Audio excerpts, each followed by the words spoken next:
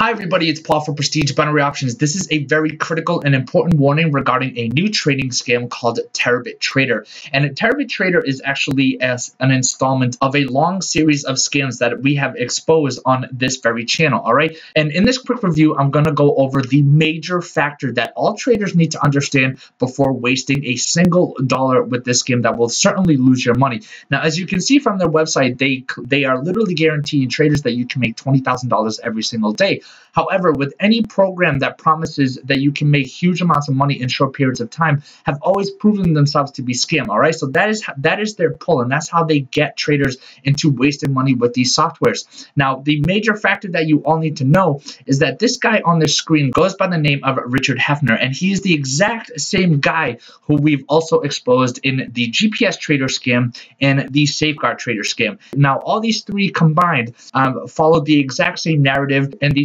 within their introductory videos are exactly the same. So basically what these scammers are doing is just relaunching the same scam over and over again. And all they do is just change the name. All right. So be careful, guys. The GPS trader scam and the safeguard trader scam were terrible programs that traders lost hundreds and thousands of dollars. So now we have the Terabit Trader, which is their latest installment.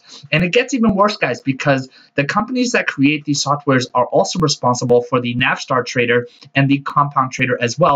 And just last week, we also exposed the Insured Trader. And all of these and all of these different scams that I've just mentioned are all created by the same company. They all have the same message. So if you haven't heard or seen any of these bit of these softwares that I'm talking about, I've left all the links below in the description area so you can get an idea and you're going to see how similar they all are. So that is my major warning, guys. And be careful. Do not deposit with any of those programs, including the new Terabit Trader scam. And below this video, I've left a link to my review, which goes into more details and evidence, just proving why Terabit Trader is a scam and why it should be avoided. And I've also provided some safer alternatives if you really are looking for a trading software or if you're interested in learning how to trade binary options. And if you have any questions, guys, feel free to email me anytime at prestigebinary at gmail.com. And be sure to like this video and subscribe to my channel because I'm constantly posting new updates, and I will see you next time.